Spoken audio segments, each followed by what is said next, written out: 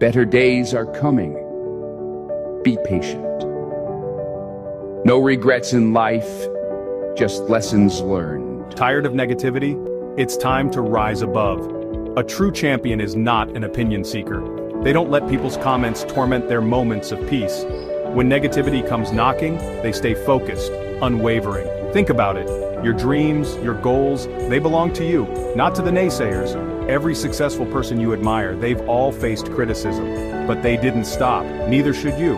Remember, you are the author of your own story, and every champion writes their own destiny. So hold your head up high, stay focused, and keep pushing forward.